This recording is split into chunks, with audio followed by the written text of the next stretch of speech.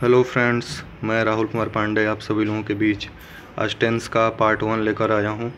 और मैं कोशिश करूँगा कि आप सभी लोगों को टेंस में जो भी कन्फ्यूज़न हो, वो आज मैं दूर कर सकूँ। तो जैसा कि आप सभी लोगों को पता है कि टेंस तीन प्रकार के होते हैं प्रेजेंट टेंस पास्ट टेंस और फ्यूचर टेंस ये नीचे जो अक्षर लिखे गए हैं, सबसे पहले जब भी हमको ट्रांसलेशन बनाना होता है ट्रांसलेशन बनाने के लिए आपको टेंस पहचान लेना ज़रूरी है।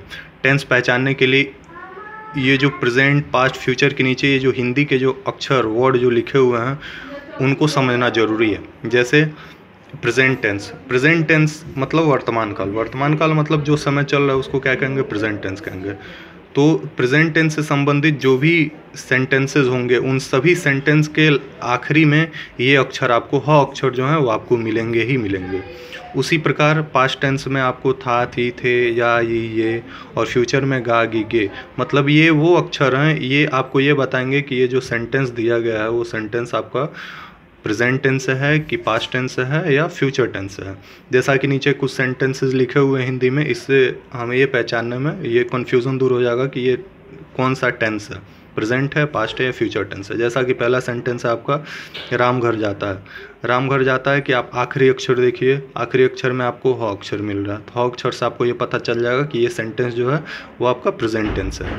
दूसरा सेंटेंस माता जी खाना पका रही थी। तो इसके लास्ट में आपको अक्षर थी मिल रहा है। तो इस लास्ट अक्षर से आपको ये पता चल जाएगा कि ये सेंटेंस जो है आपका पास्ट टेंस है। उसके बाद तीसरे सेंटेंस में आप देखेंगे वे सब दिल्ली पहुँच चुके होंगे। दिल्ली पहुँच चुके होंगे में आप आखिरी अक्षर देखिए, गे आ रहा है। मतलब मीन्स ग अक्षर। तो ग अक्षर से आपको ये पता चल जाएगा कि ये फ्यूचर टेंस है। नीचे बढ़ते हैं, नीचे देखते हैं कि अब जितने भी टेंसेज होते हैं, तीन अलग अलग टेंसेज में, अगर हम प्रेजेंट की बात करें तो प्रेजेंट मतलब होता है वर्तमान काल और इस प्रेजेंट के भी फोर पार्ट्स होते हैं। जैसा कि आपको दिख रहा है कि प्रेजेंट टेंस में present indefinite present continuous present perfect present perfect continuous ये चार इसके पार्ट्स होते हैं।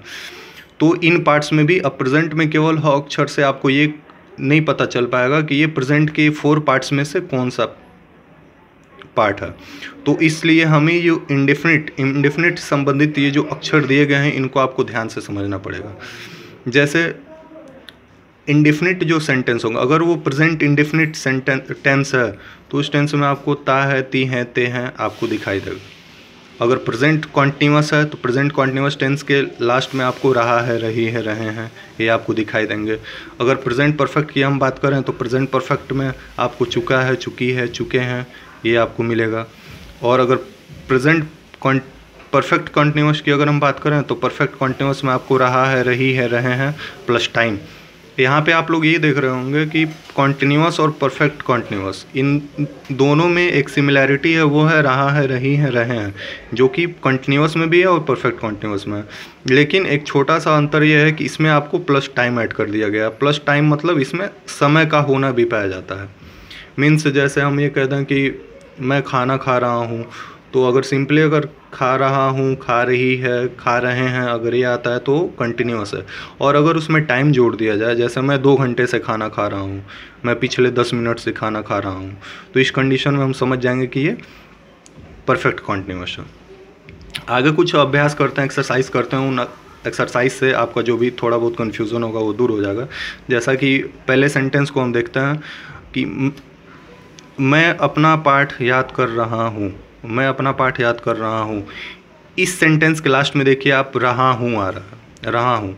रहा हूँ से आपको पता चल जाएगा कि ये जो सेंटेंस है, ये आपका प्रेजेंट कंटिन्यूस टेंस से है।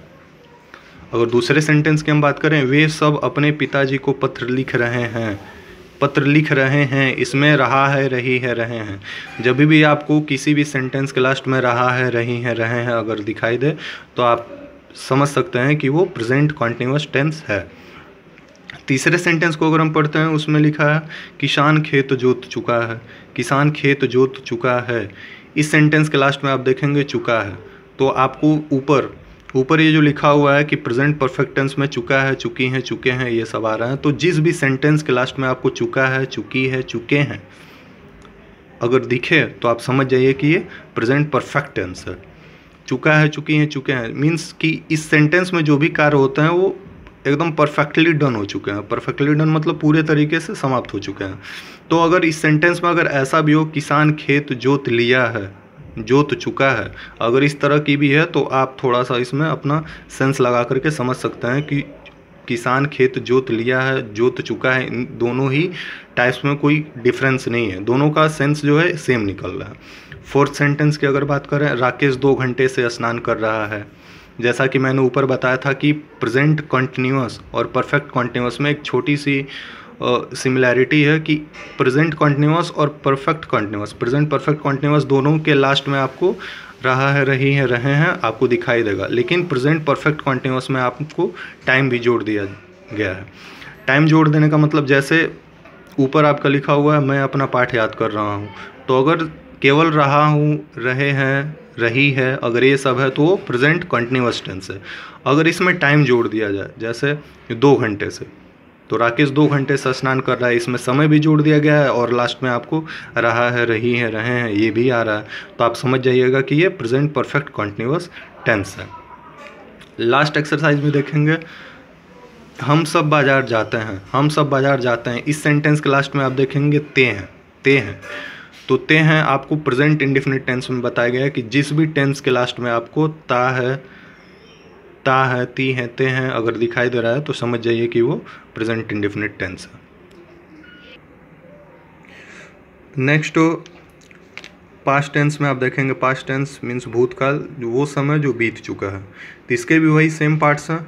इन प्रेजेंट पास्ट फ्यूचर इन तीनों में आपको एक ये जो इनके पार्ट्स हैं, वो सभी सबके सिमिलर हैं, एक ही हैं, इसमें कोई अंतर नहीं है। जैसे present indefinite present continuous present perfect present perfect continuous same ठीक वैसे ही past indefinite past continuous past perfect और पास्ट परफेक्ट कॉन्टिन्यूस इस, इसमें भी टेंसेस को पहचानना ज़रूरी है, जैसे पास्ट इंडिफिनिट के, इसमें जो पास्ट इंडिफिनिट के जो सेंटेंसेज होंगे, उनके लास्ट में ता, था, ती, थी, ते, थे, या, ये ये ये सभी, इन सभी अक्षरों से आप पहचान लेंगे इजीली पहचान लेंगे कि ये पास्ट इंडिफिनिट टेंस है।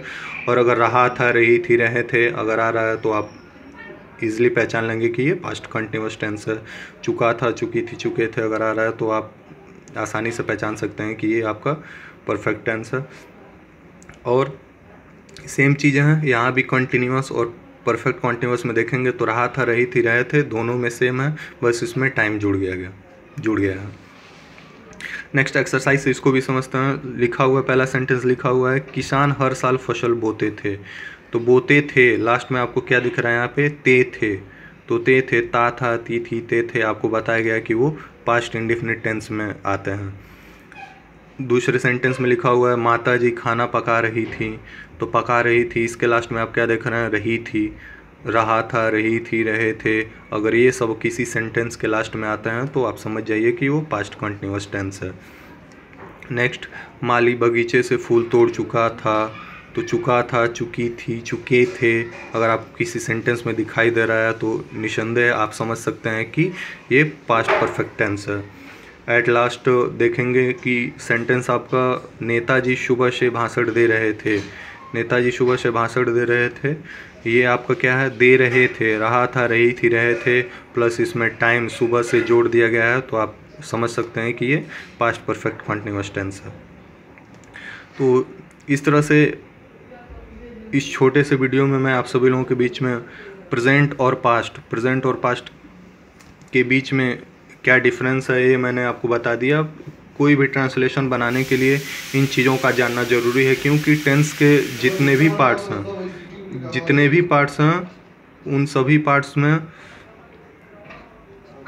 अलग अलग रूल्स दिए गए हैं। उन अलग अलग रूल्स के हेल्प से ही आप क्या करेंगे, उन ट्रांसलेशन को बना पाएँगे। और जैसा कि आप सभी को पता है कि ट्रांसलेशन की जानकारी होना हम सभी लोगों के लिए बहुत ही आवश्यक है। अगर हम स्पीकिंग करना चाहते हैं या फिर कुछ बेसिक्स भी जानकारी अगर हमें चाहिए तो इन ट्रांसलेशन के इन सब चीज़ों के बारे में आपको पता होना चाहिए। तो ऐसे छोटे छोटे पार्ट्स में हम इस टेंस को कवर करेंगे। तो जो भी आपको कन्फ्यूज़न है, वो कमेंट में आप लोग बता सकते हैं। बहुत बहुत धन्यवाद आप सभी लोगों का। अगर आपको थोड़ा भी अगर समझ में आया हो तो इस वीडियो को लाइक करें, सब्सक्राइब करें। और दूसरे बच्चे, अगर आपको लगता है कि हाँ ये दूसरे बच्चों के लिए भी काम आ सकता है तो आप इस वीडियो को ज़रूर से ज़रूर शेयर करें। धन्यवाद।